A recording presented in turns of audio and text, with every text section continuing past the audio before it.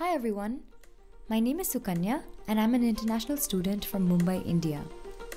I'll be graduating in about a week and I thought I'd share my story with those of you who might be at an exciting point of change in your lives too. So, here's my version of my life at Beloit. August 2015.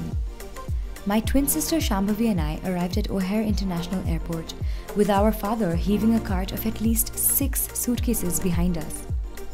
Both of us were nervous to say the least.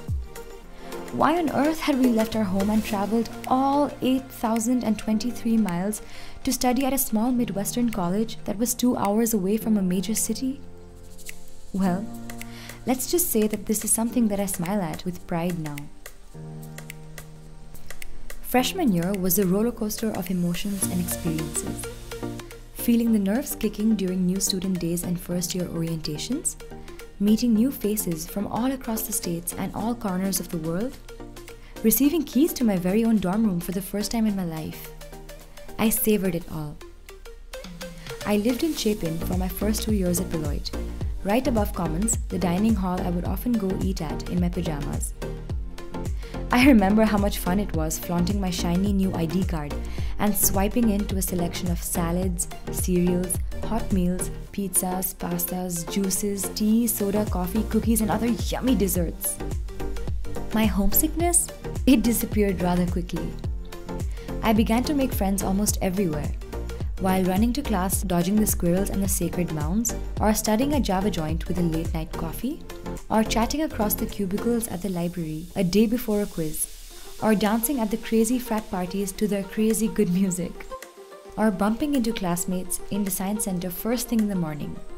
Freshman year was a ride indeed. My classes were a mix of different individuals from strikingly different backgrounds across all walks of life. Yet each one of us was united through our love for asking interesting questions and learning together. Despite all the international calls and the distance away from my friends and family at home, and constantly craving my mom's home cooked food, I knew that I was already carving out a place for myself here. The first snowfall on campus arrived in November. It involved a massive snow fight across the Greek houses. I remember witnessing the bell run for the first time that night, and I also remember appreciating the close knit community we had all become. By the end of the semester, there was also an unspoken eagerness among all of us to go out of our way and grab opportunities as students of a small campus. I remember what it meant to grow, and I recognize that I only grew because of this special place and its special people.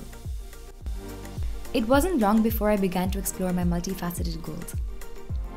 I worked as a teaching assistant for math and econ classes while juggling roles of resident assistant, YouTube music artist, and aspiring graphic novelist. I soon began to work as a data analyst at the Development and Alumni Relations Office and as senior manager of Belmark Associates, where I was able to lead market research and consultancy for two companies. With my passion for innovation and entrepreneurship, I went on to write a journal offering 20 sketches of non electric tools to improve human lives.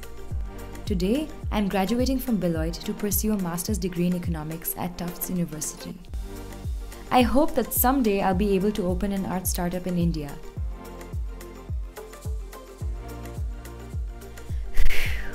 It's been an absolutely exhilarating ride, and here's what I'm gonna say. At Beloit, our squirrels run across the sidewalks with our rabbits. Bikes race with funky skateboards, athletes enjoy a dip in the pool after a cold day of snow and projects, math majors discover archaeological caves in their field classes, students learn to teach, and faculty learn to adapt. We are unique.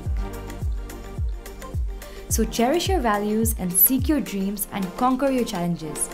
And I'm sure it's going to be an exhilarating ride for you too.